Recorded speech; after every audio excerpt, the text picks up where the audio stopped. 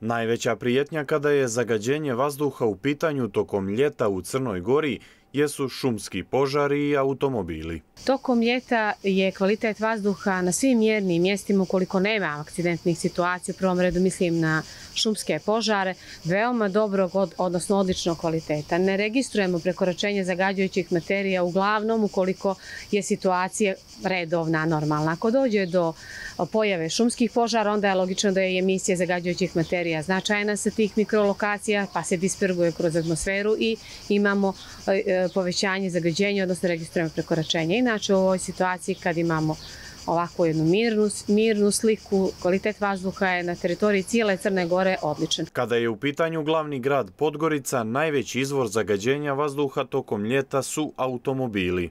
Ono što tokom ljeta možda bi predstavljalo problem, to su mikrolokacije na najprometnijim raskrsnicama. Tu, tu registrujemo ponekad povećanje pojedinih polutanata. Recimo jedna od najprometnijih raskrsnica na zabijelu kružni tok u Podgorici imali smo prošlog mjeseca jedan dan prekoračenje sa srednje granične vrijednosti za PM10 čestice, a na ostalim mjernim mjestima nismo registrovali prekoračenje. Za razliku od ljeta, zimi je situacija u sjevernoj i centralnoj regiji Crne Gore znatno lošija i to najviše zbog velikog broja ložišta. U sjevernoj zoni su gotovo svakodnevno prekoračenje srednje dnevne koncentracije PM čestica u centralnoj zoni i preko 20 dana u toku mjeseca. U južnoj zoni E, nemamo prekoračenja značajna ni tokom zimskog perioda. Tu je tokom cijele godine kvalitet vazduha veoma dobar.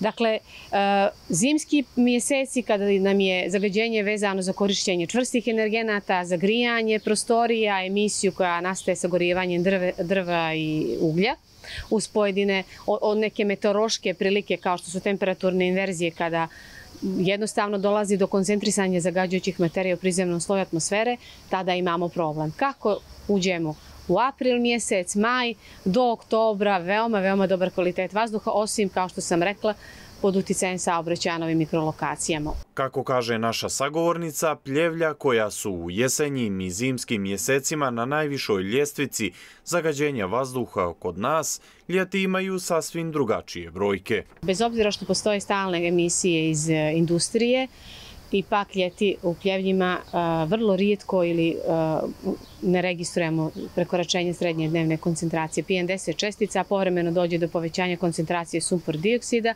ali u svakom slučaju ljetnja i zimska slika pljevlja, ljeti i zimi, dvije različite, potpuno različite slike. Prema podacima Svjetske zdravstvene organizacije za 2020. godinu, 800 ljudi u Crnoj Gori je umrlo zbog zagađenja vazduha i komplikacija koje su nastale zbog toga.